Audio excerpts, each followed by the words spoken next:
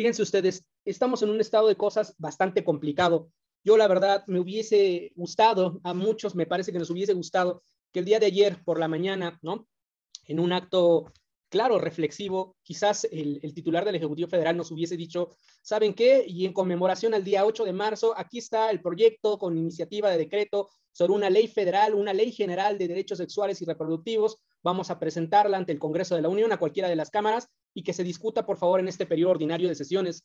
Pero no, desafortunadamente, bueno, parece que eh, los debates están planteados en otra serie de temas y me preocupa, insisto, que los ciudadanos no estamos em, llevando esta, esta batuta hacia la mejor protección de los derechos, porque cada año es lo mismo, insisto, venimos arrastrando una serie de cuestiones en donde cada año es básicamente, sí, desde luego, conmemoración, reclamo, legítimo, pero ¿dónde están las propuestas? ¿Dónde está la agenda legislativa? ¿Dónde está la agenda en políticas públicas? ¿Qué estamos haciendo más allá? También los operadores jurídicos, desde la perspectiva de la protección de derechos, la adjudicación, el litigio estratégico. Parece que ya es momento de plantearnos cómo avanzar en estos momentos. Ahora bien, vamos a partir de lo más básico. ¿Qué son los derechos reproductivos?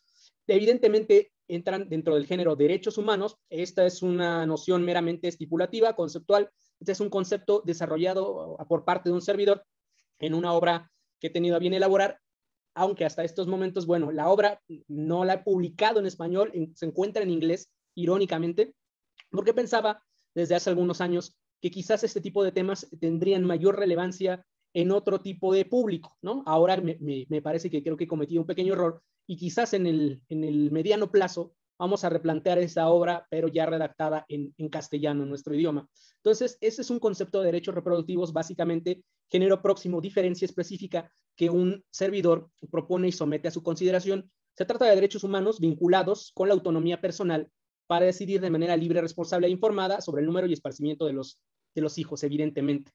Hay elementos cuantitativos que aquí yo quiero compartir con ustedes, que son, debe prescindirse de la violencia, de elementos coactivos o discriminación, sea pública o privada.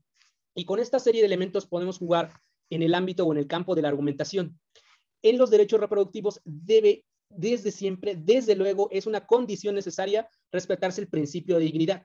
Desde el punto de vista de la teoría kantiana, ustedes recuerdan que trata de la relación medio-fin. Las personas jamás deben ser consideradas como medios, sino como fines últimos, desde luego.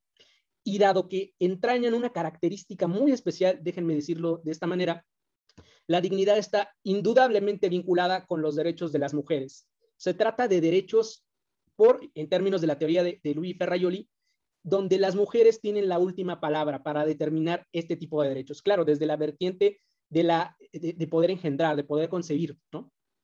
Se encuentran otros elementos característicos de derechos de seguridad jurídica, como el acceso a la información, ¿no? Como el derecho a la educación, desde luego, ¿no?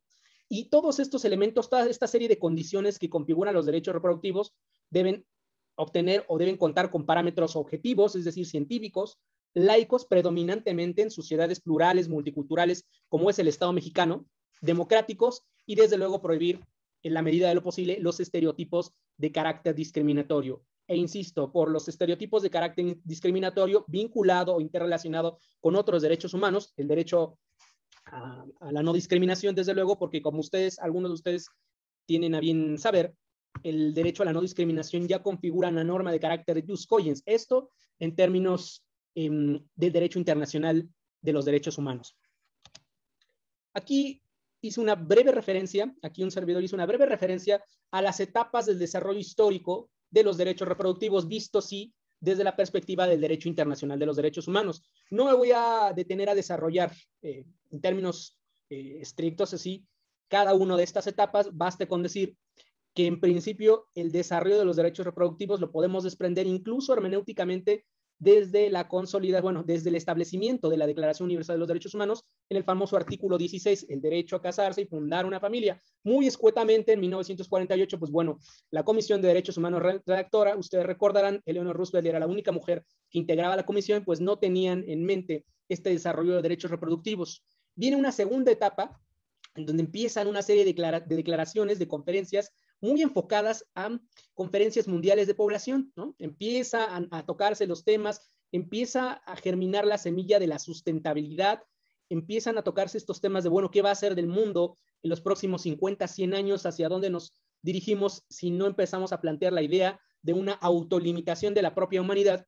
Y concluye en el año de 1979 esta etapa con em, la creación precisamente sujeta a la firma y ratificación de la famosa Convención sobre la Eliminación de todas las formas de discriminación contra la mujer, mejor conocido como el Tratado CEDAW o la CEDAW, que este es el tratado insignia, la Carta Magna de los Derechos Humanos de las Mujeres. Excelente. Hasta estos momentos contamos con este tratado internacional.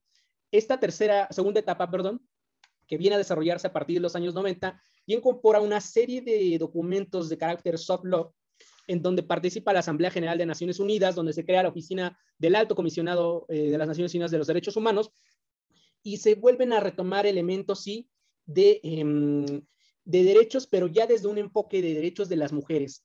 El, digamos, el documento, el instrumento soft law, eh, algunos dirían no vinculante, pero sí de carácter interpretativo muy fuerte, pues es la plataforma de acción de Beijing de 1995.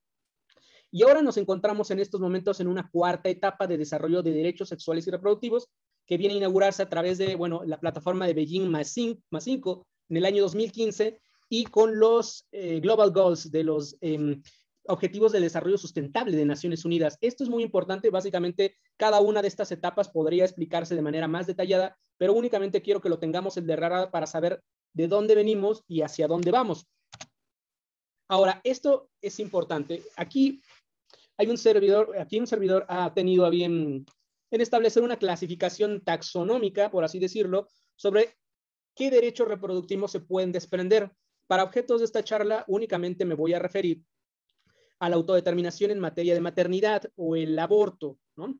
Pero podemos encontrar esta serie de elementos como derechos reproductivos, ya subespecies muy específicas, la libertad de procreación, la salud reproductiva y la concepción física o farmacéutica, la educación y la información reproductiva, la autodeterminación, evidentemente, la reproducción asistida, homóloga, heteróloga y post-mortem, que este es un tema que va a entrar mucho en debate en los próximos años, como vienen las cosas, y la prohibición de discriminación, que como ya hemos comentado, tiene un carácter de jus cogens. En algunos de estos derechos, desde luego, no son exclusivos, insistimos, no son exclusivos, pero en algunas su estructura, su, la armonía, la finalidad o el elemento deóntico, como algunos eh, sostenemos, importan desde luego o exclusivamente a las mujeres. En otros, los hombres, desde luego, porque pueden ejercerlos, pero hay ciertos derechos como la autodeterminación en materia de maternidad que son exclusivamente de las mujeres y en donde, en atención al principio de dignidad humana, cualquier interferencia ajena, ya sea público o privada, ya sea del Estado, de otros actores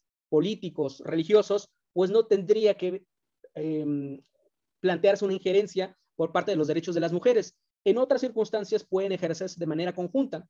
Por ejemplo, pensemos en la reproducción asistida, en la homóloga y heteróloga, la fecundación in vitro. Postmortem es una cuestión muy polémica que, insisto, va a venir a, plantearse quizás en los últimos años, en los siguientes años, sobre todo porque, bueno, disponer del material reproductivo cuando una persona no ha dejado de manifiesto, por ejemplo, si puede utilizarse o no, digamos, eh, el material reproductivo, el semen, es una cuestión bastante polémica y en algunos lugares del mundo ya se empieza a regular. Aquí en México, pues hasta el momento, pues no lo tenemos claramente definido.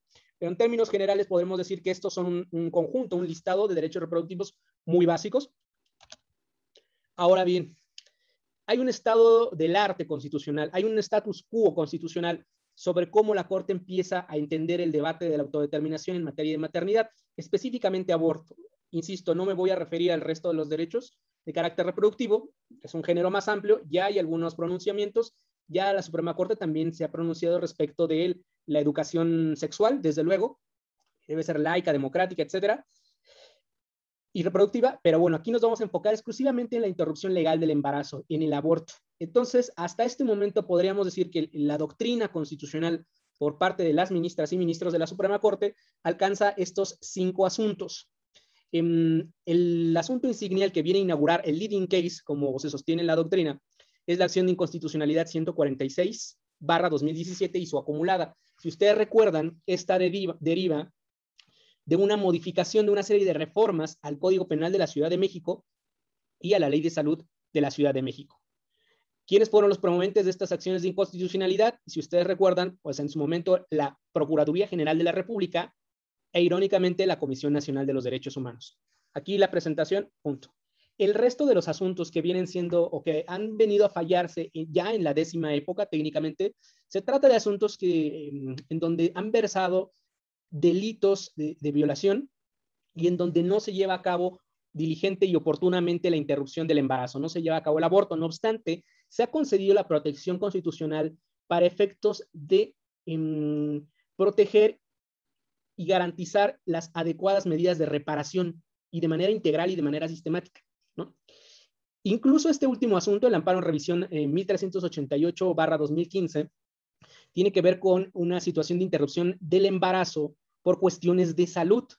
El famoso caso de, de la quejosa Marisa. Bueno, no era su nombre eh, oficial, pero así aparece en la sentencia que ustedes pueden consultar y son públicas todos estos documentos. Pero por así decirlo, estos tres amparos en revisión vienen a dar cuenta efectivamente de una violación, vamos a decir, más bien sistemática respecto a las reparaciones integrales, no en estricto sentido a la forma en que se tiene que llevar a cabo la protección del derecho reproductivo, es decir, interrumpir legalmente el embarazo. Esto ha sido así por una cuestión, incluso irónicamente, cuestiones procesales. No es posible, ¿no? Porque estos asuntos em, llevan un periodo de trámite oportuno, recibir informes, lo que ustedes quieran. Y evidentemente, cuando estos asuntos ya fueron del conocimiento en la Suprema Corte, pues bueno, pues ya las, las interrupciones legales del embarazo ya se habían realizado. El punto fino es que entre los conceptos de violación manejados por las distintas quejosas, se alegaba una situación de violación a la integridad personal, en la vertiente de prohibición de tortura, tratos crueles, inhumanos y degradantes. Y como muchos de ustedes saben, también este enfoque, la prohibición de tratos crueles, inhumanos y degradantes, son normas em, reconocidas por toda la comunidad jurídica internacional, consideradas como normas just cogens. Muy interesante la forma en que se llevaron a cabo eh, em, la argumentación de estos juicios de amparo, pero para los efectos de la protección constitucional, estos amparos en revisión tendieron a enfocarse más en las medidas de reparación que una proyección en sentido estricto que versara con la interrupción legal del embarazo, no obstante que desde luego que tocan el tema. A diferencia de estos asuntos, de estos amparos en revisión, pues bueno, en la acción de inconstitucionalidad 146, la clásica, el leading case, aquí estamos hablando de un control abstracto. No pasa desapercibido, ustedes seguramente lo habrán encontrado alguna tesis por ahí del año 2002, ¿no? de la novena época sobre la protección de la vida desde el momento de la concepción, etcétera. Podríamos considerar incluso que esa tesis, De la novena época, otra integración, etcétera, se contrapone con las consideraciones de, esta primer, de, este asunto de la acción de inconstitucionalidad 146 barra 2007, eh, perdón, aquí nos equivocamos, sí se, sí se contrapone, pero en, sentido estricto parece ser que el Tribunal Constitucional ya, ya eh, abandonó este criterio. Lo interesante del asunto, fíjense ustedes, es que eh, la norma objeto de control fue el artículo 144. Esto es muy importante por la forma en que se reconfiguró. Si ustedes tienen a bien, en aquel entonces, si no mal recuerdo, el jefe de gobierno de la Ciudad de México era el actual canciller, el, licenciado Marcelo Ebrard Casaubón, si no mal recordamos. Fue cuando se dio esta reforma legislativa en el ámbito de la Asamblea Legislativa de la Ciudad de México, bueno, del entonces Distrito Federal. Y si no mal recordamos, la consejera jurídica, la brillante consejera jurídica que llevó a cabo también el, análisis para sostener la validez constitucional de estas normas, era la doctora Leticia Bonifaz, que hoy es integrante del comité CEDAW, precisamente. Entonces, este asunto fue muy especial en el ámbito de la Suprema Corte porque Ustedes recordarán, también se llevaron a cabo audiencias de carácter público en donde participaron personas con muy distinta ideología y formación profesional para manifestar su punto de vista y los ministros de la Suprema Corte atendieron estas audiencias públicas.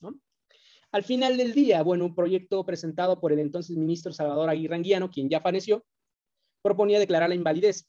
Y posteriormente, bueno, no casarse la votación, hubo em, una especie de retorno, por así decirlo, en donde se cambiaron las consideraciones en contra de lo que se proponía en el proyecto y el engrose final corrió a cargo del ministro José Ramón Cosío. Esta sentencia es bastante larga, son aproximadamente 1.300 cuartillas, pero bueno, en resumidas cuentas, lo que en esta sentencia refiere o manifiesta es que hay una serie de condiciones de carácter, obviamente, del ámbito de la salud, salud pública. Se trata de temas en donde están vinculada la, la salubridad general, que como ustedes recuerdan, también es una materia de carácter concurrente, al igual que en la materia penal hay legislación sustantiva en el ámbito de las entidades federativas y hay, legislación sustantiva en el ámbito de la federación.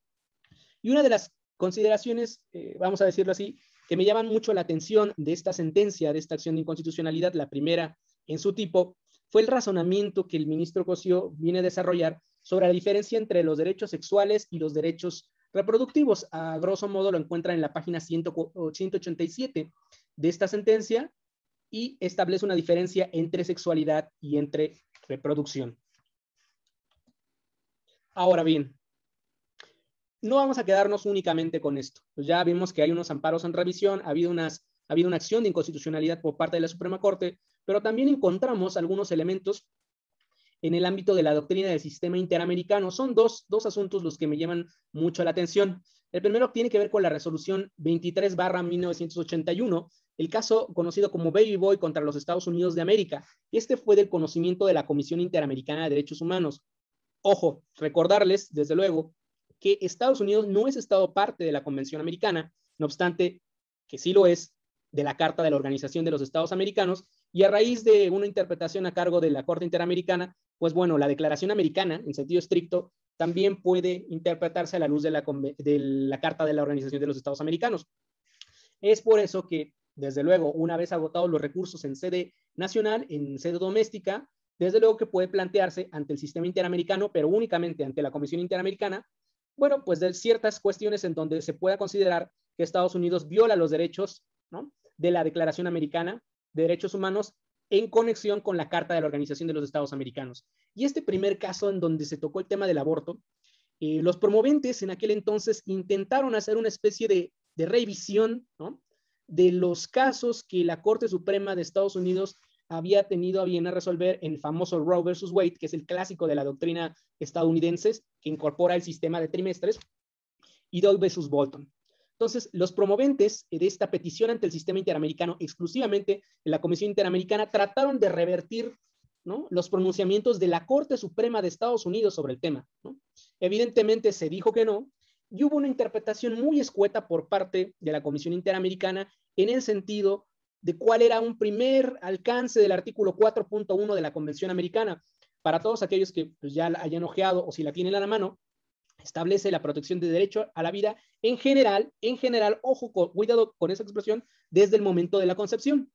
Pues bueno, la Comisión Interamericana sostuvo en este asunto Baby Boy en que no podía tomar en cuenta una interpretación de que en general fuese como una obligación para todos los estados, porque ello impediría de alguna forma que los estados americanos pudieran em, llevar a cabo regulaciones en torno al delito de aborto.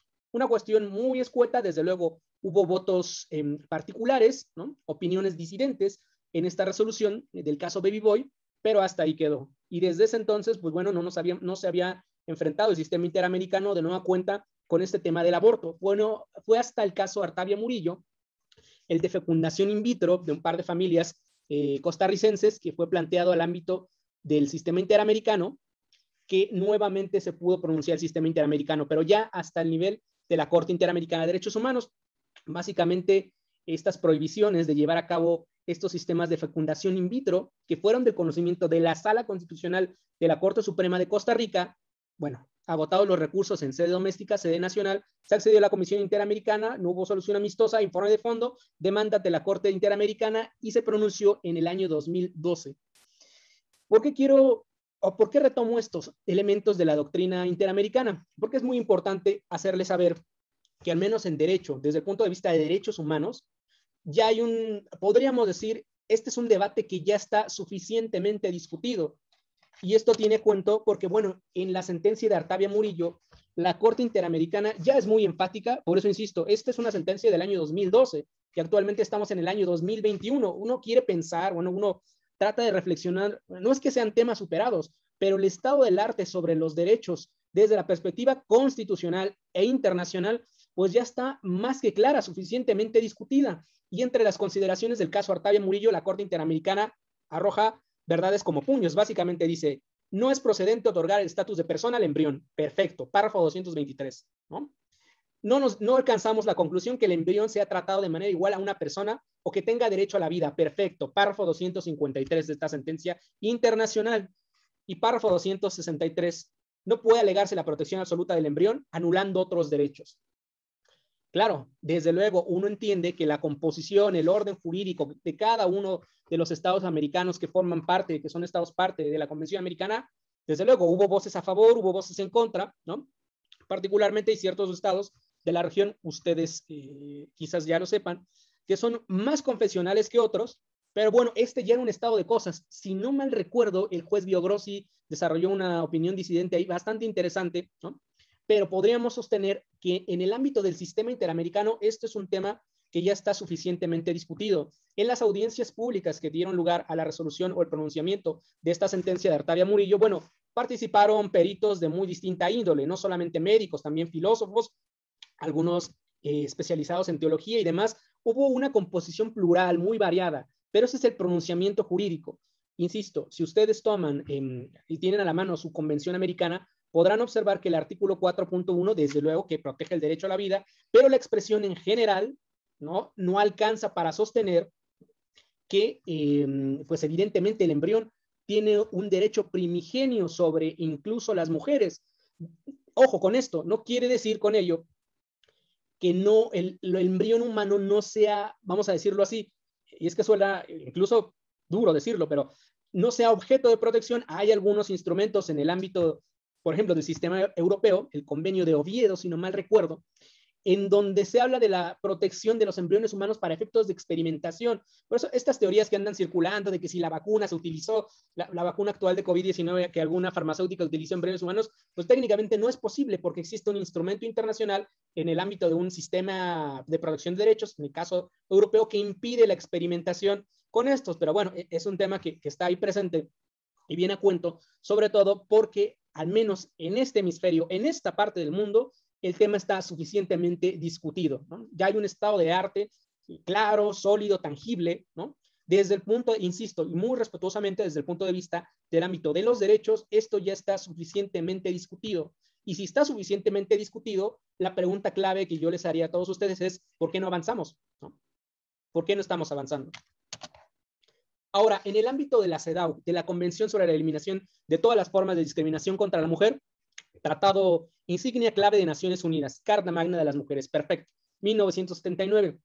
Ustedes pueden eh, tener a bien que la CEDAW como comité tiene competencias para llevar a cabo informes finales, informes país, llevar a cabo recomendaciones generales e incluso también conocer de ciertos casos. Pero vamos a enfocarnos exclusivamente al ámbito, em, al ámbito mexicano. Las recomendaciones generales que hasta este momento ha emitido la CEDAW, si no me recuerdo, hasta este momento son 38. La última tiene que ver con temas de violencia, de trata, ¿no? De esclavitud sexual, muy interesante.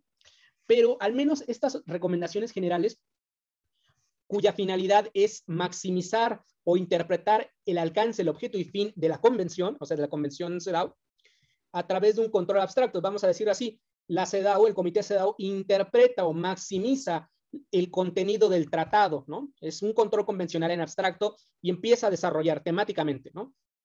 Y también, desde luego, ustedes recordarán, o si no están familiarizados, sepan ustedes que los estados parte tienen la obligación de presentar informes periódicos. En el sistema CEDAW, me parece que es cada cuatro años, hay una revisión, eh, se pueden hacer informes espejo por parte de las organizaciones de la sociedad civil y luego posteriormente viene el pronunciamiento. La última, las últimas observaciones finales a cargo del Comité CEDAW al Estado mexicano son de julio de 2018. Y aquí ya se empieza a hablar de una serie de cuestiones bastante interesantes. La CEDAW viene tomando nota cada cuatro años, insisto, que pareciera ser que nos estamos rezagando, ¿no? Dice, el Estado mexicano necesita poner mayor empeño para acelerar la armonización de las leyes y protocolos federales y estatales sobre el aborto y garantizar el aborto legal, etcétera. Prácticamente, pues bueno, viene siendo una especie de regaño. El Comité CEDAW es, ha echado mucho ojito en saber que nos estamos rezagando. las observaciones finales del ciclo anterior también insistían un poco en materia de aborto. Estas recomendaciones generales que, insisto, eh, van dirigidas prácticamente a todos los estados parte que son eh, del, del, Tratado de Insignia, pues bueno, desde 99 ya se venían tocando temas relativos al aborto. Mujer y Salud, 2015, acceso a la justicia, también aborto. 35 barra 2017, violencia de género. Aquí ya empiezan a aparecer unos razonamientos bastante interesantes sobre si es considerado un trato cruel, inhumano, degradante, ¿no? La prolongación del aborto contra la voluntad, la prolongación del embarazo contra la voluntad de la mujer. Así es. Entonces, al margen de incluso lo que ya han dicho otros mecanismos técnicos, como los relatores sobre tortura y también de los derechos de, la mujer, de las mujeres, ya se viene refrendando esta idea de que, bueno, no podemos continuar así. Ah, me están preguntando la opinión, el amparo en revisión 636 barra 2019. En estos momentos no puedo comentarles, compañeros, pero en principio de cuentas porque está subyúdice. Pero vamos a dejarlo eso, si ustedes gustan a preguntas y respuestas. En la parte final, nada más lo mencionamos como un asunto que está subyúdice y si quieren lo dejamos al final. Bien, entonces, em, regresando un poco, la situación que tenemos también desde el ámbito del punto de vista del sistema de Naciones Unidas es que este tema también ha sido reiterado. Son recomendaciones generales, muy bien. Podemos entrar a discusión de si esto es vinculante, si no es vinculante. Para un servidor, bueno, esto a título particular, me parece que sí, las interpretaciones que lleva a cabo un comité de Naciones Unidas respecto al alcance, fin u objeto del Tratado Internacional tienen o tienen que ver con algo más que sea una cuestión no vinculante, pero vamos a dejarlo hasta ahí. Insistir en que México, cada cuatro años, pues bueno, vienen a recordarnos que tenemos que seguir avanzando en el compromiso de la protección de los derechos reproductivos y específicamente en las cuestiones que tienen que ver con el aborto. Ahora bien, este mapa que ya muchos de ustedes conocen, ya visto un poco eh, a bote pronto el estado del arte constitucional ¿no? en, el ámbito de la Suprema Corte, ya hemos visto también preliminarmente pues, cuál es el estado del arte en el sistema interamericano y ahora específicamente respecto al sistema de Naciones Unidas, pues nos encontramos con este, este mapa de las entidades federativas, en donde, bueno, básicamente en todo el país, en las 32 entidades que comportan el pacto federal, pues la regulación del aborto, figuren ustedes, hay construcciones, desde luego, de las famosas excusas absolutorias en materia penal. Me llama mucho la atención que revisándolo nuevamente, Querétaro eh, y Guanajuato únicamente contemplan la posibilidad de llevar a cabo la interrupción del embarazo en tratándose de delito de violación, ¿no? En todas las demás entidades federativas hay matices sobre malformación congénita o aborto genésico, cuestiones que pongan en peligro eh, la salud o la vida misma de la mujer. Y solamente, o hasta estos momentos, solamente Oaxaca y la Ciudad de México han reconfigurado el tipo, ¿no? Para hacerlo asequible, dar la posibilidad de llevar a cabo esta interrupción hasta la decimosegunda semana de gestación. Hace un par de semanas, si no me recuerdo, también se intentó llevar a cabo este planteamiento en el estado de Quintana Roo, no prosperó, e insisto, me llama mucho la atención cómo, cómo este mapa, o sea, nos da cuenta de una realidad en donde desafortunadamente los actores políticos, aquellos que integran los congresos locales o incluso, hay que decirlo, ¿no? a nivel federal, pues no se están tomando el tema demasiado serio. Hemos visto que hay una situación ya muy pronunciada en el ámbito del sistema interamericano. Insisto, el sistema de Naciones Unidas también ya ha sido muy enfático hacia dónde se tiene que avanzar e incluso las observaciones finales desarrolladas por parte del Comité CEDAW ya nos dicen qué es lo que tenemos que hacer, pero uno ve este mapa y se queda pensando, bueno, ¿por qué no avanzamos? Derechos reproductivos, derechos humanos, principio de igualdad, de interdependencia, de generalidad, todos somos titulares de los mismos derechos. ¿Qué está pasando? Porque este mapa, vamos a decir eh, eh, la expresión, para decirlo en términos sencillos, ¿por qué este mapa no está todo pintado de verde? ¿Por qué tenemos que solicitar una y otra vez? Y es que esto es lo curioso, ¿no? cuando se le pide a las autoridades, ¿no? Casi por favor que escuchen a los ciudadanos, que escuchen a las ciudadanas.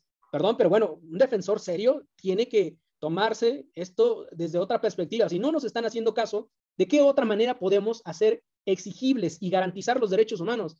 No es de que, oiga, señor, por favor, escúchenos y proteja nuestros derechos reproductivos. Me parece que, bueno, hasta este momento, y visto lo visto desde hace muchos años, insisto, 2007, Pasan los años y no vemos progreso, no vemos evolución, pero estamos llegando a una situación en donde evidentemente, pues bueno, nos estamos quedando rezagados incluso en la propia región. Insisto, lo que pasó en Argentina es una situación bastante curiosa, pero a nivel estadual, en, el marco del, del Estado mexicano, pues pasan los años, ya podremos decir abiertamente, pasan las décadas y no hay un desarrollo progresivo, evolutivo de los derechos humanos, de los derechos reproductivos para las mujeres mexicanas. Esto me llama mucho la atención. Ahora bien, aquí ya estamos en el ámbito de las propuestas. ¿Qué sería lo ideal? Y por las propuestas, quiero insistir, temas que son en leje, leje ferenda, lo que puede ser pendiente de regulación normativa, lo que podemos plantear o desarrollar a futuro. Yo, yo un servidor, eh, analizándolo poco a poco y viendo qué podemos hacer, pues bueno, lo ideal, lo factible sería a lo mejor contar con una ley general, ¿no? Y quiero insistir con el carácter de generalidad, porque, bueno, estamos hablando de salubridad general en términos del artículo cuarto, ¿no? Y el 73, fracción 16, ¿no? También de la Constitución Federal. Entonces, pudiera ser, a lo mejor, plantear una ley general de derechos sexuales y reproductivos, o en su caso, bueno, una ley federal. ¿Es factible? Desde luego que es factible. ¿Tiene fundamento constitucional? Desde luego, lo acabamos de, de mencionar. Artículo cuarto de la Constitución Federal, podemos tomar todos los fundamentos que ustedes quieran, artículo 12 de la Convención de CEDAW, artículo 7, 6 y 8 de la Convención de Belén do Pará en el ámbito interamericano, desde luego. Um, vamos a dejar las preguntas para el final, compañeros, sí. Y, sigue, y, y continuamos. Ya estamos como en la mitad, no quiero hacer, insisto, esto muy extenso.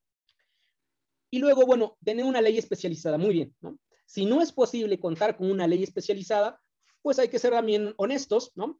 Y a lo mejor comenzar por reformas o adiciones que puedan hacer permisible la interrupción legal del embarazo. Entonces, observen ustedes, ¿qué podríamos empezar haciendo? Reformas, por ejemplo, a la Ley General de Salud. Al Código Penal Federal y a las leyes del IMSS y del ISTE. Bueno, en términos sencillos, recuerden ustedes que en la Ley General de Salud, en el título tercero de la ley, ahí se contemplan servicios de salud, pudiera ser que eh, una adición de un capítulo, un capítulo sexto, ¿no? porque también ahí en la Ley General de Salud sí se habla de prestaciones de servicios en materia de salud reproductiva. Pero ¿para qué incorporamos un capítulo con algunos artículos?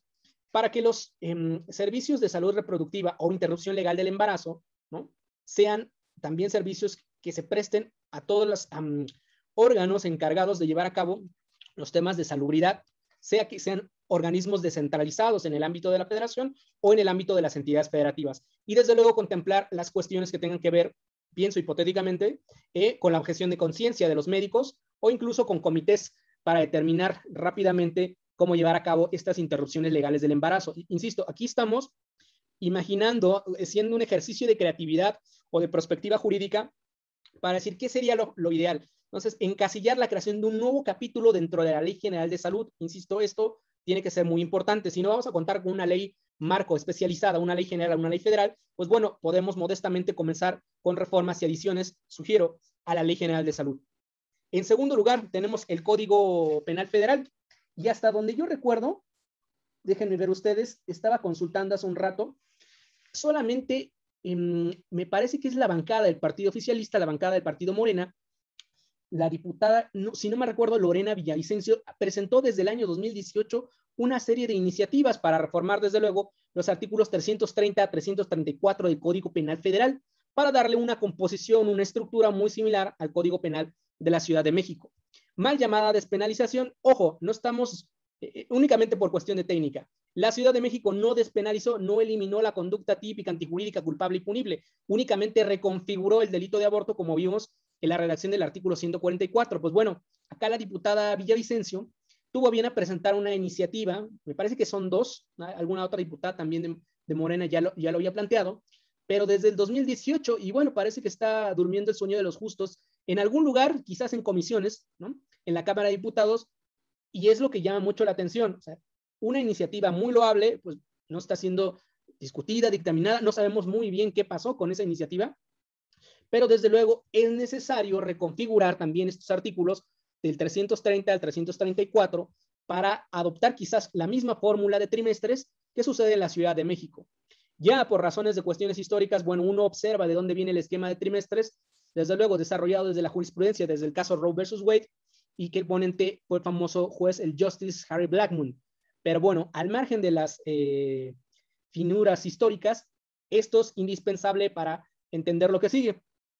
Las reformas al, al IMSS y al ISTE considero que también podrían ser un buen elemento, sobre todo porque ahí se prestan servicios de salud desde el punto de vista de seguridad social. Em, no tengo en este momento preciso eh, el dato exacto de cuántas clínicas, digamos a nivel nacional, sería muy interesante observarlo, del IMSS y del ISTE, ¿no? que cuenten con el personal adecuado podrían llevar a cabo estas interrupciones legales del embarazo. Esto, ojo, si ustedes empiezan a observar, esto desde el punto de vista exclusivamente federal, ¿eh? porque la materia penal, insisto, cada entidad que compone el pacto federal, las entidades federativas, tienen sus respectivos códigos penales, ¿no? y ahí está descrito claramente cuál es el delito de aborto. Pero esto únicamente desde el punto de vista del, rango o del orden jurídico federal. Quiero hacer eh, notar a ustedes que en términos de la ley orgánica de la Administración Pública Federal, si no me recuerdo el artículo 45, bueno, ahí se define cuáles son los organismos descentralizados en el ámbito de la Administración Pública Federal y desde luego uno de ellos es el IMSS. Entonces, si estos organismos descentralizados prestan servicios de salud, de seguridad social, desde luego, bueno, dependiendo de los derechohabientes, también es posible que lleven a cabo estas interrupciones legales del embarazo siempre y cuando lo ideal sería reconfigurar también el Código Penal Federal e incorporar un capítulo a la Ley General de Salud. Por eso, insisto, muy respetuosamente loable, eh, aplaudimos que haya un par de iniciativas, no sabemos qué haya pasado con ellas, pero quizás a la diputada Villavicencio le faltó decir, ah, bueno, ¿cómo vamos a vincular a los servidores públicos que trabajan en estos organismos descentralizados y que protegen a través de servicios de salud reproductiva? Pues bueno, también hay que hacer una serie de adiciones a la Ley General de Salud quizás una serie de adiciones también a las leyes del IMSS y del ISTE. Creo que algunos de ustedes ya empiezan a ver hacia dónde vamos. Fíjense ustedes, la lista nominal, y aquí se va a entender muy, bien hacia dónde quiero, que, quiero dirigir a ustedes la propuesta. La lista nominal de electores, ustedes la consultan en estos momentos del Instituto Nacional Electoral, nos arroja que las personas que técnicamente podrán votar este, este año en esta elección federal, en este en el marco de este proceso electoral federal, son 92 millones 714 mil 202 personas, de las cuales al menos 47 millones 987 mil 58 son mujeres. Es decir, hay prácticamente ya estamos hablando de 48 millones de mujeres mexicanas, en contraste con 44 millones 727 mil hombres. Muy bien, eso está perfecto. Y ahora bien, ustedes dirán, bueno, si en términos, la cancha, bueno, en la cancha que compartimos todos. En este estado de cosas, los políticos no nos están escuchando, no nos quieren escuchar, ¿no? Y bueno, hasta este momento un servidor revisando, bueno, ¿quién en el marco del proceso electoral federal, dónde están las plataformas de diputados, de diputados que busquen la reelección, aquellos que van a, a postularse también?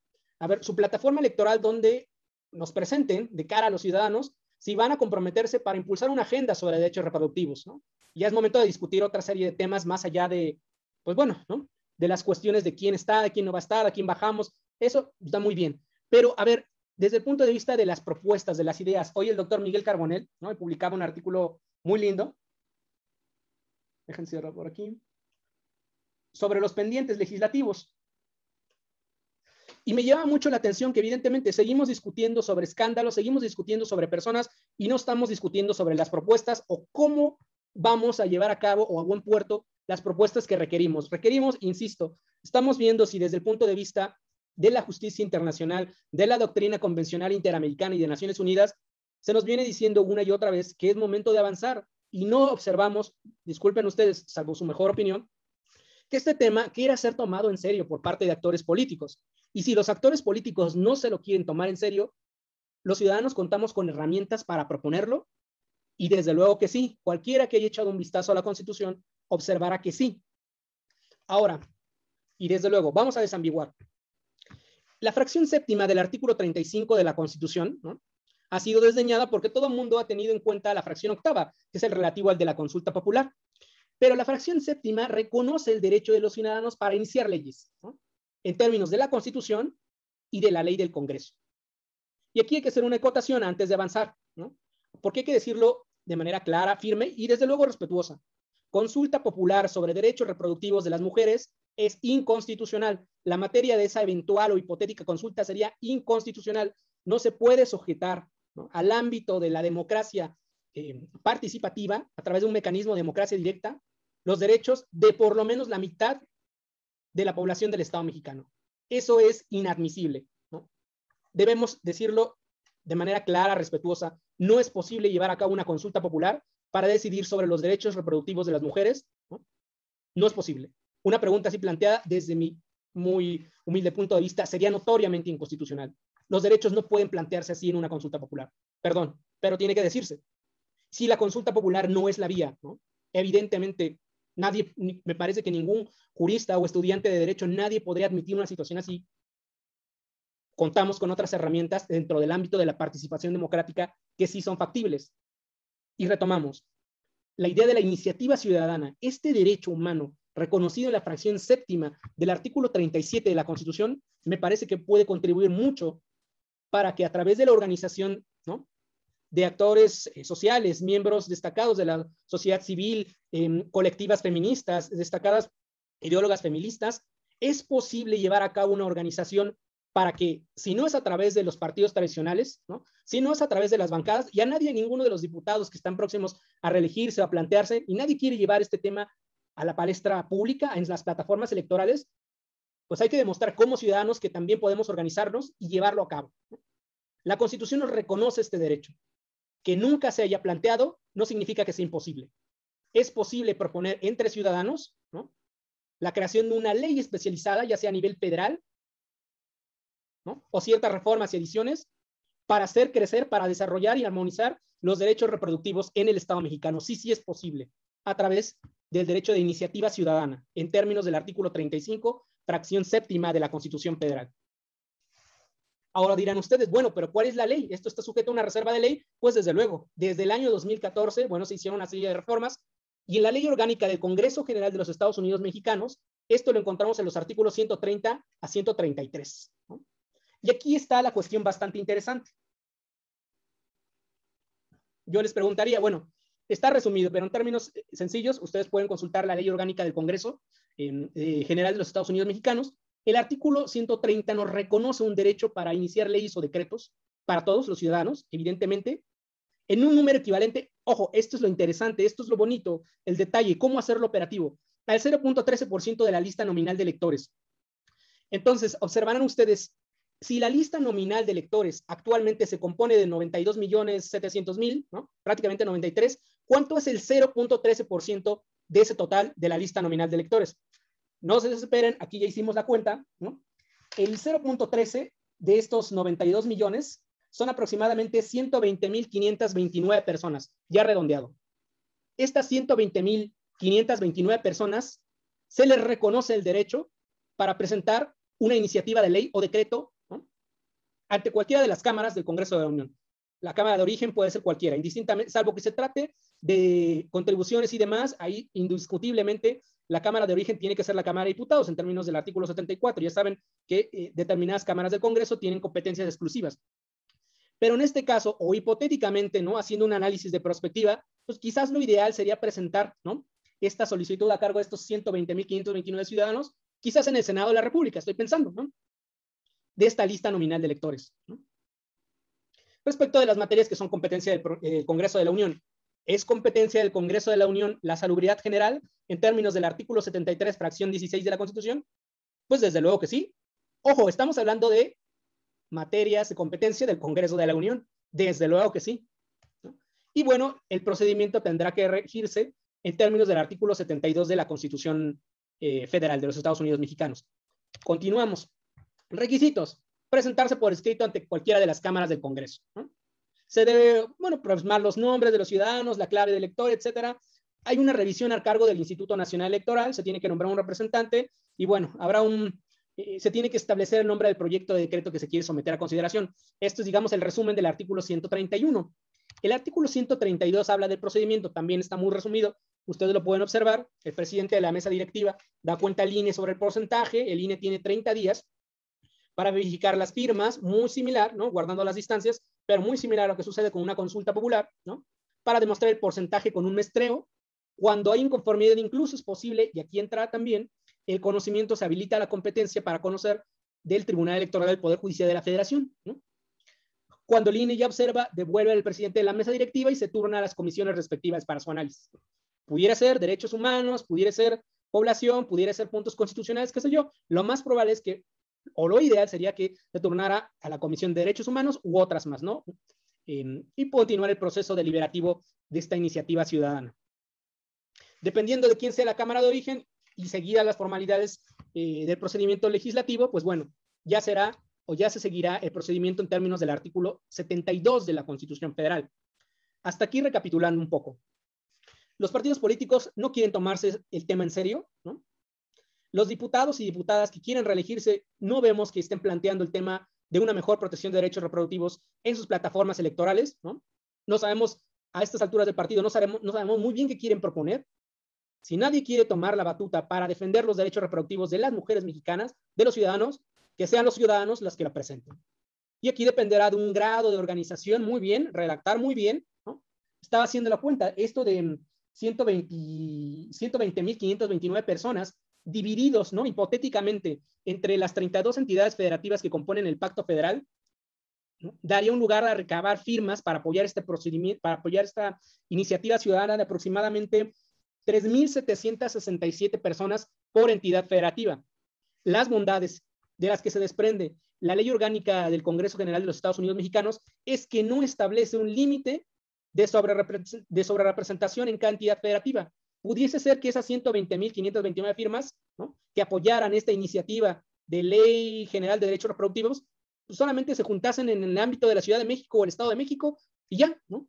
Pero para hacer o dotarle, no lo dice la ley, desde luego, ¿no? pero lo ideal es juntar la mayor cantidad de firmas posibles y demostrar a la clase política, a los operadores políticos, que son las ciudadanas las que están interesadas en que este tema ya se discuta, ya se apruebe y que haya mejor y más derechos para todos.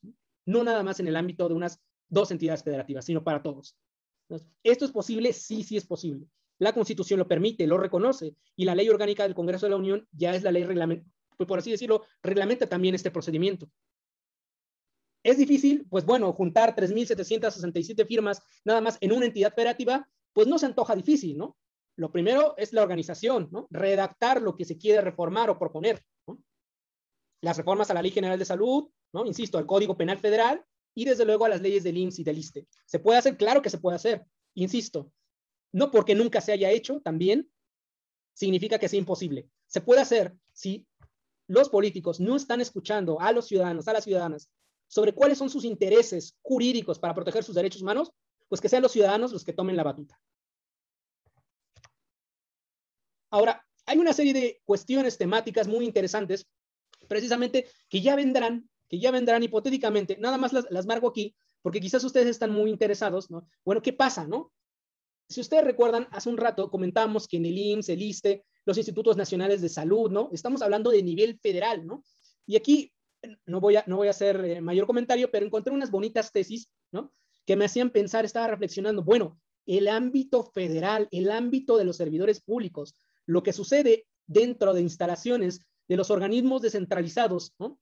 Donde se actualiza la competencia, la jurisdicción al ámbito federal y siempre y cuando se reforme el Código Penal Federal, pues bueno, venía pensando, pues evidentemente, si uno lograse reconfigurar el tipo penal de aborto previsto en los artículos 330 a 334 del Código Penal Federal, uno empieza a elucubrar que una serie de posibilidades ¿eh? se, nos, se, nos, ofrecen, se nos presentan. ¿no? Esta, pues, una bonita tesis de 1999, y luego encontré otra del primer circuito también, si no me recuerdo, es del noveno tribunal colegiado del primer circuito, en materia penal del primer circuito. Por exclusión, ¿qué es lo que nos están dando a entender estas tesis?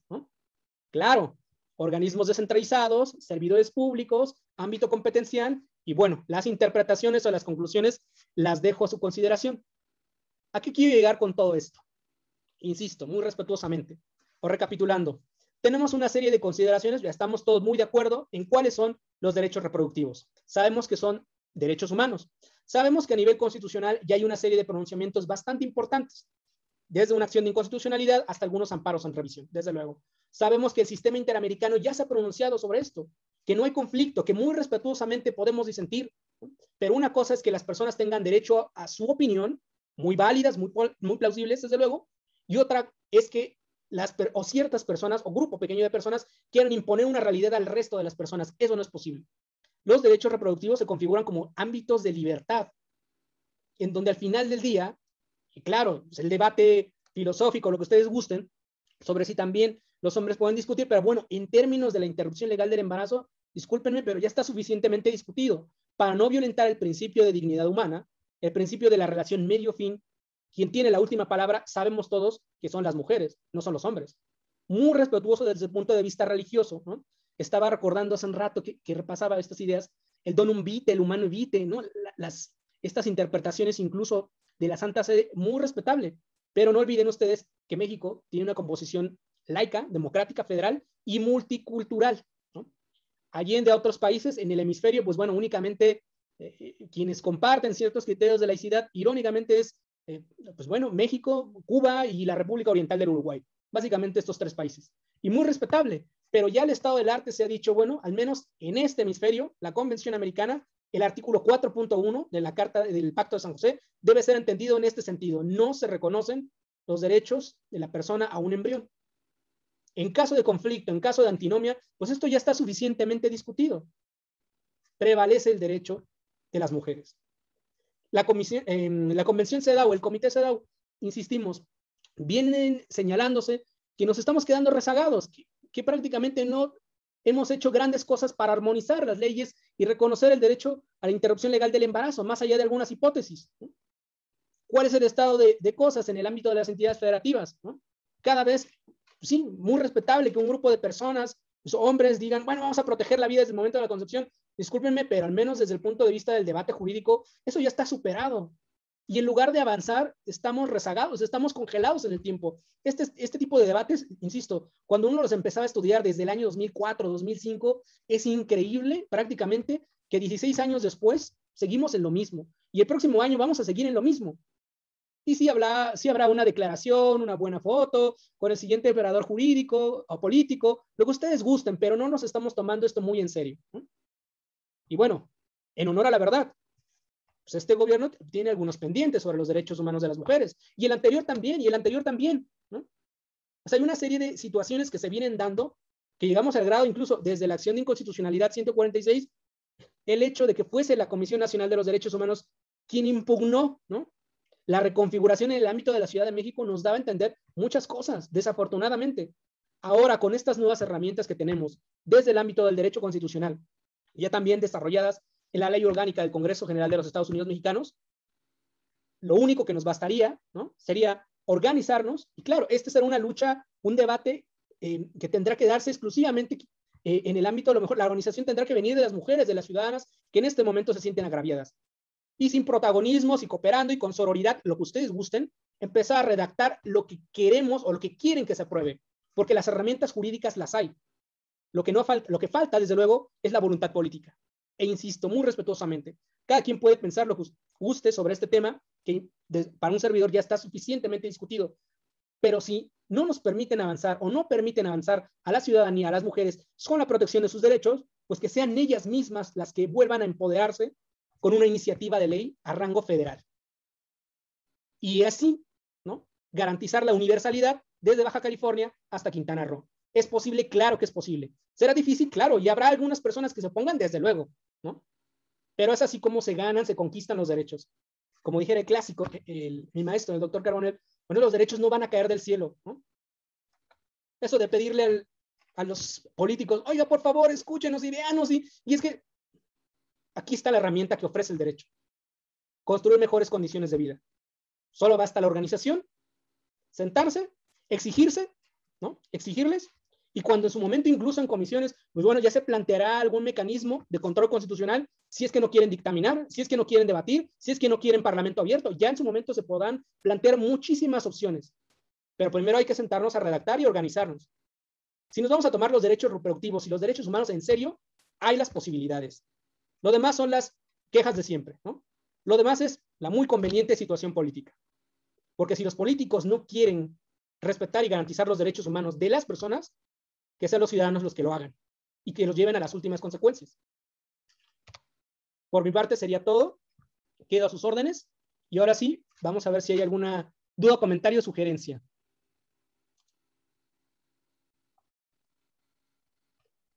Ahora sí, si ustedes gustan hacer un comentario o sugerencia, queda a sus órdenes. A ver, vamos a ver.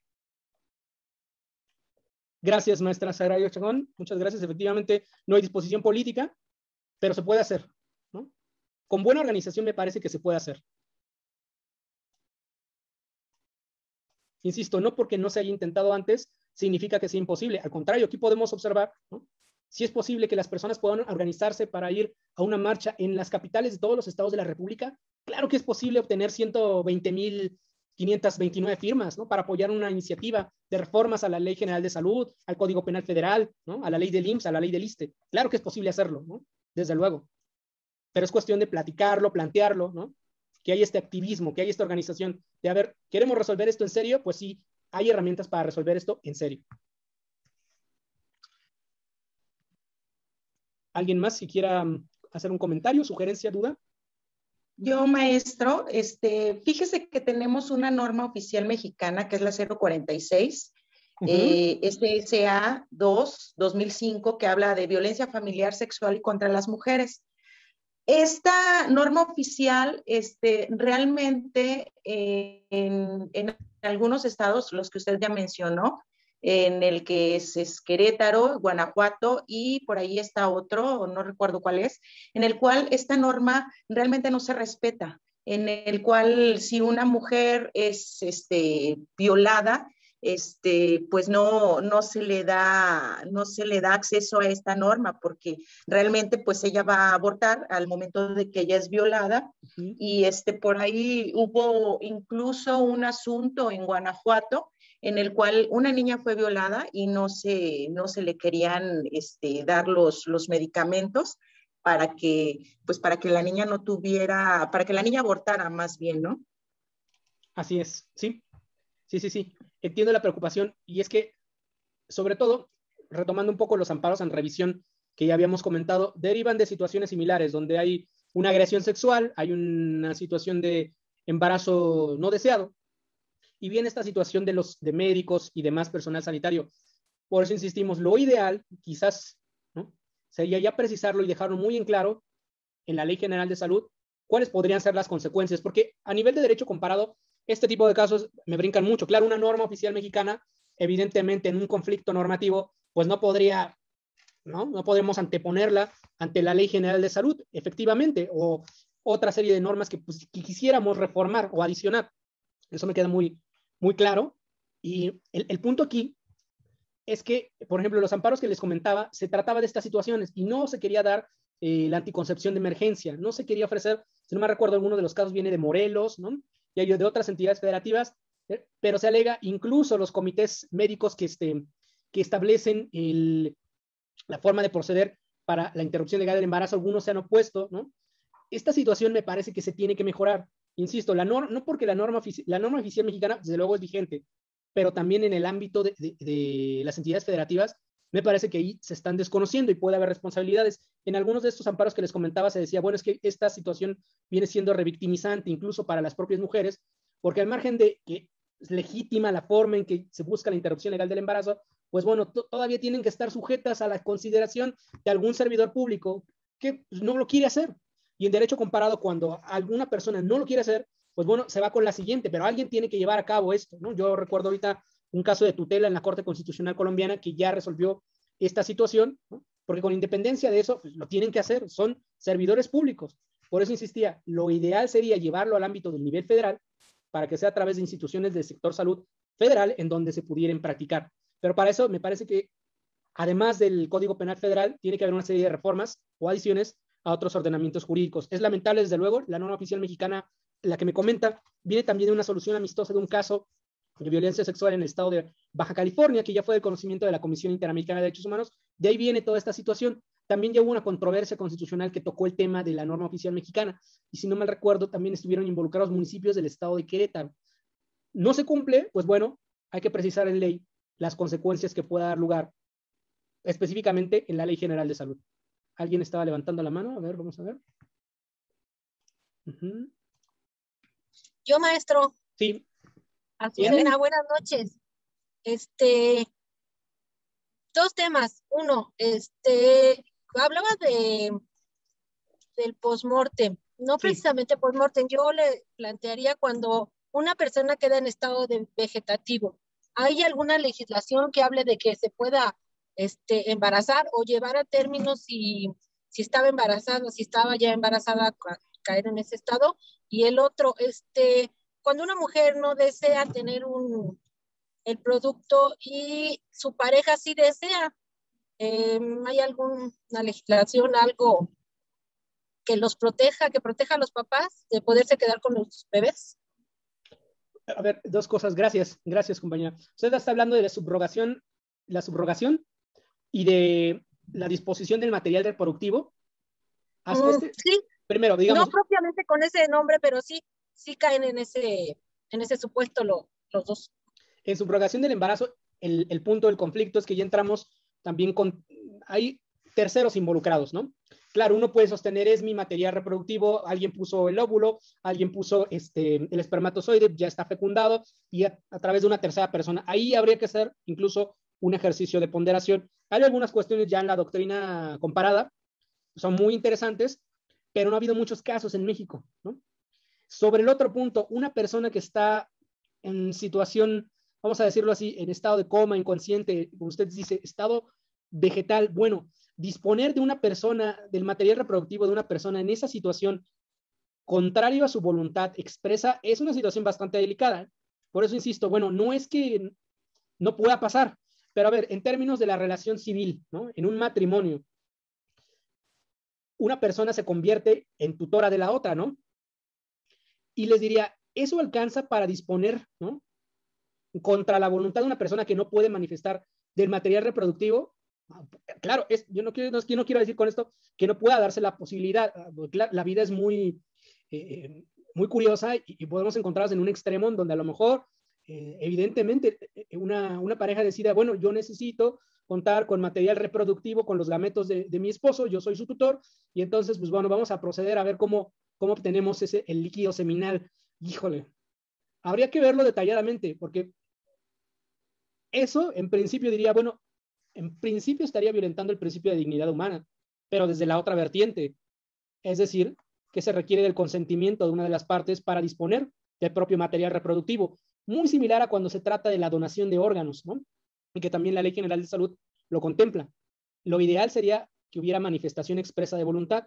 Por eso cuando les comentaba post-mortem, pues bueno, en sentido estricto, termina los derechos de la personalidad, ya no hay derechos humanos, pero luego hay una interpretación sobre el trato digno de los muertos, y etcétera, etcétera. Hay regulación jurídica sobre eh, los fallecidos, los cuerpos, el corpus. Y ahí habría que entender, bueno, ¿eso alcanza para obtener el material reproductivo?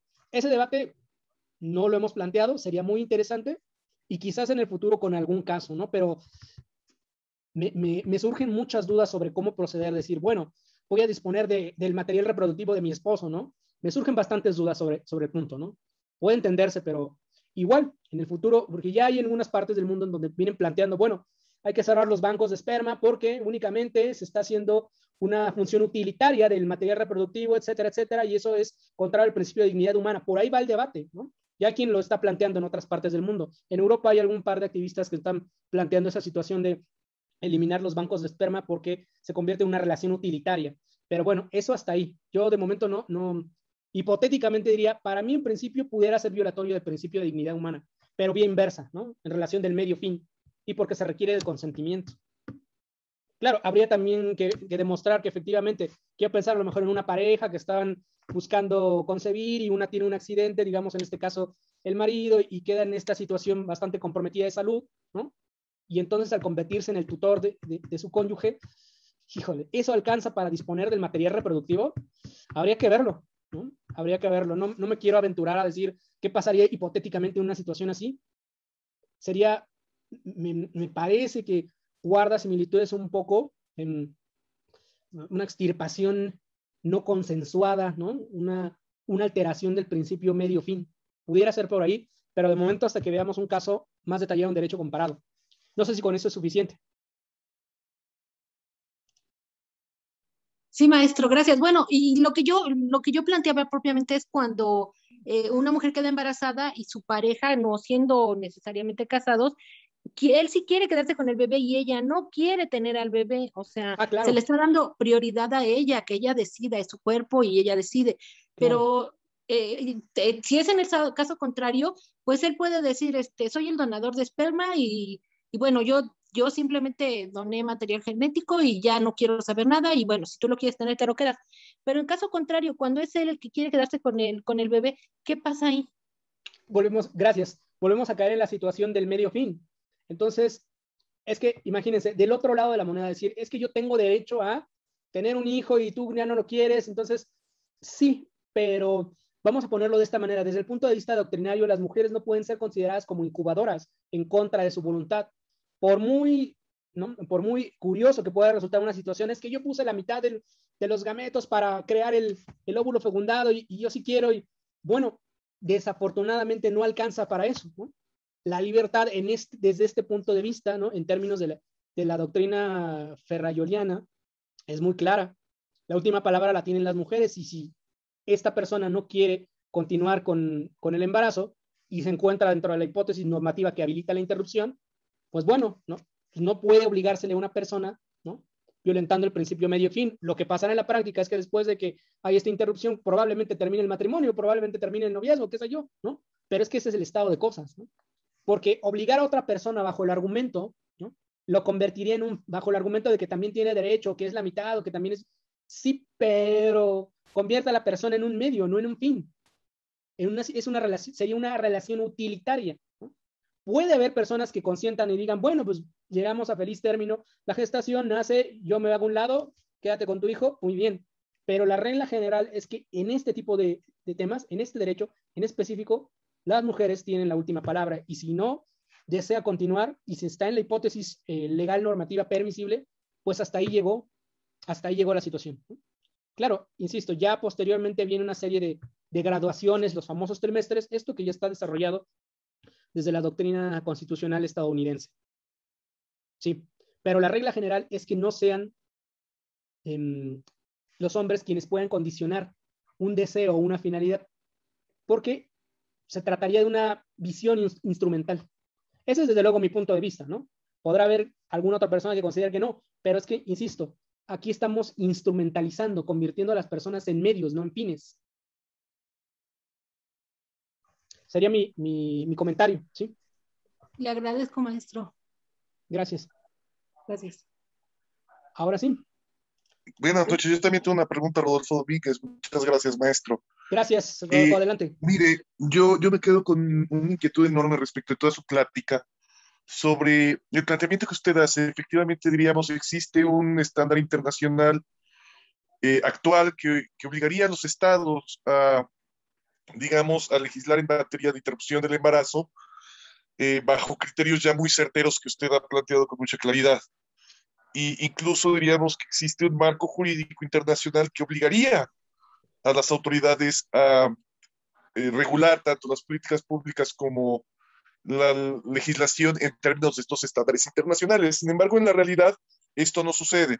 Tenemos dos casos muy recientes, el caso de los legislativos de Veracruz y de Guerrero, donde a pesar de tener una declaratoria de alerta de género decretada, donde se hacen recomendaciones particulares para la adecuación del marco normativo a estos estándares internacionales, la realidad es que los, eh, las y los diputados pues no lo realizan, lo que a nuestra consideración implicaría una omisión legislativa. Frente a esta realidad, ¿cuál considera usted que debe ser el papel del Poder Judicial, particularmente de la Suprema Corte de Justicia como garante final de la constitucionalidad y convencionalidad del actuar de las autoridades? ¿Cuál, ¿Cuál, tiene que ser entonces la línea sobre la cual tendríamos que regirnos, tomando en consideración los precedentes que hay sobre omisiones legislativas, que como ciudadanía nos permitieran garantizar un actuar adecuado de los poderes legislativos? No sé si me explico con esta pregunta porque usted plantea también como una estrategia que seamos nuevamente la ciudadanía quienes hagamos una iniciativa cumpliendo los requisitos que usted ha planteado. Pero nuevamente la carga es para nosotras como ciudadanía, pero las autoridades, particularmente legislativos, pues actúan como si fueran una soberanía que no tiene que cumplir con obligaciones internacionales y pareciera que hay un solapamiento de esto por parte del Poder Judicial. Por eso también mi pregunta sobre el, el, el amparo y revisión que actualmente eh, se ha, sigue el conocimiento de la Suprema Corte de Justicia, el 636 del 2019, donde pues no hay una claridad de criterios sobre, sobre cómo tendría que ser esto. Porque otra de las posiciones es, no se puede acceder a la vía de amparo para denunciar este tipo de incumplimientos, eh, obligaciones internacionales por parte de autoridades. Tendremos que estar agotando, como usted planteó, amparos sobre casos concretos con los matices que usted ya también ha comentado de de, revictimización y, yo diría que incluso de instrumentalización de las víctimas para estos fines, ¿no? Cuando en realidad tendríamos que tener una amplia posibilidad de acceso a recursos judiciales en términos, pienso, por ejemplo, el artículo 25 de la Convención Americana, donde nos habla de desarrollar todas las posibilidades de recurso judicial. Perfecto. Muchas gracias, compañero. Pues mire, evidentemente, como usted ya lo señaló, el amparo en revisión 636, en este momento no, no me gustaría hacer algún pronunciamiento sobre lo mismo, toda vez que es un asunto que está subyúdice. No obstante ello, entiendo cuál es el enfoque desde la dinámica de la omisión legislativa. Y la omisión legislativa se pretende o se ha insistido derivarla, evidentemente, de los criterios que existen a nivel internacional, las obligaciones a cargo del Estado mexicano. Acá la situación se complica atendiendo que, bueno, lo ideal sería, evidentemente, ¿no?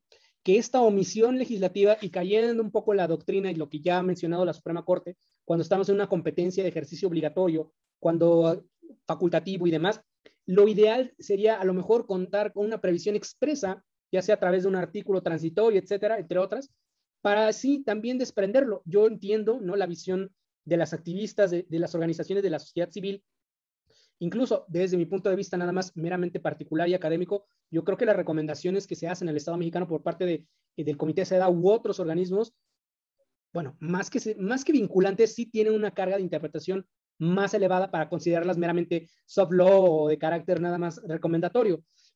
Pero el punto es, bueno, si no podemos, vamos a decirlo así, fijarlo muy bien de una omisión legislativa y tampoco del otro lado de o la otra cara de la moneda es tomar nuevamente la situación de una revictimización de una persona que, ha sufrido pues, una, violación sexual, hay que quizás explorar otra alternativa. Por eso decía y, quería insistir en la iniciativa ciudadana, porque aquí estamos hablando de actos de carácter positivo, no, actos de carácter negativo.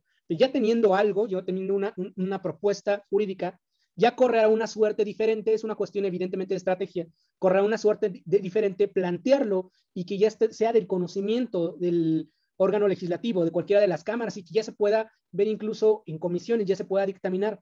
Yo diría que desde luego, desde mi punto de vista, que el Poder Judicial, desde luego que está comprometido con los derechos humanos, pero también hay planteamientos que yo considero que a lo mejor es quizás eh, investigar o más bien experimentar nuevas vías para llegar a la meta, no solamente una estrategia, claro, esto estamos viéndolo como una estrategia de litigio, ¿no? A ver, si no es por el lado de la omisión, y ya vimos que a lo mejor aquí se cuestiona y que sobrecimiento, yo estoy de acuerdo que el juicio de amparo, pues bueno, tiene que ser garantía adecuada, efectiva, ¿no? La garantía judicial, la protección judicial, todo lo que sabemos de, la jurisprudencia interamericana. Pero a lo mejor, evidentemente, hay que explorar nuevas alternativas para llegar a la misma, a la misma meta. Yo diría que el Poder Judicial sí hace un trabajo y no porque no se ponga la camiseta, ¿verdad? Pero hace un buen trabajo, pero quizás no es la forma de plantear la finalidad, ¿no? Y, eso sí lo dejaría para la situación del activismo y, del compromiso. Aquí lo que un servidor trataba de hacer es, bueno, decir, ofrecer, vamos a explorar esta otra vía, esta otra alternativa para buscar llegar a ese resultado, porque evidentemente, pues los operadores políticos pues, no sabemos qué, en qué estén pensando, pero no están comprometidos seriamente con, con la agenda de los derechos reproductivos, ¿no? Entonces yo diría, bueno, habrá que esperar cómo viene la nueva propuesta, porque se returnó, si no me recuerdo ahora, el ministro que va a estudiar esta situación es el ministro Gutiérrez Ortiz Mena, pues vamos a ver, vamos a esperar. Pero insisto, quizás a lo mejor la vía la encontramos desde otra perspectiva. Quizás primero hay que plantear un acto positivo y ver qué pasa en un correspondiente proceso legislativo y ya a raíz de eso, pues bueno, me parece que la, la, la forma de construir o las omisiones o o, la inadecuada regulación normativa pudiera ser de otra índole. Yo desde luego entiendo, estamos, creo que todavía el Poder Judicial también está en un proceso, de, desde luego, de perfeccionamiento de los criterios.